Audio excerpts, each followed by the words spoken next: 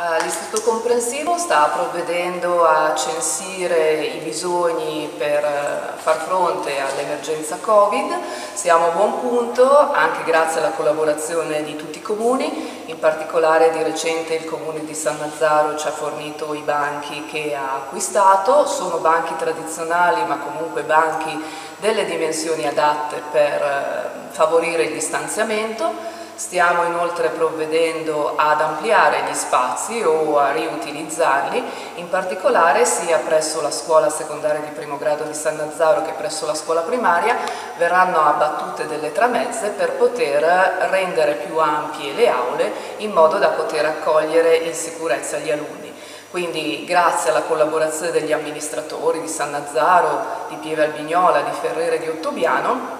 ci stiamo attrezzando per poter accogliere i nostri ragazzi in sicurezza a partire dal 14 di settembre.